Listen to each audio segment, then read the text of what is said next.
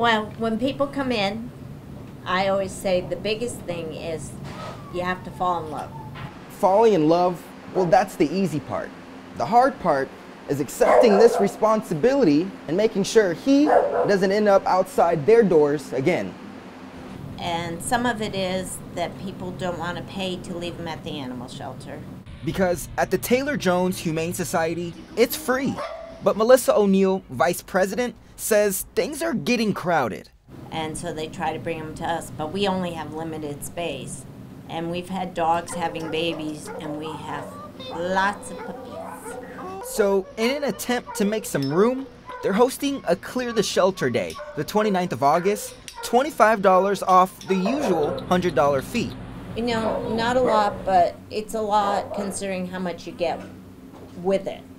With microchipping and shots taken care of, the job isn't over after finding the one. Averaging $600 a year to care for cats and $400 for dogs, it's a responsibility just like any other. Because it's a big decision. It's like a family member. I mean, you just don't take it home and say, oh, it's home.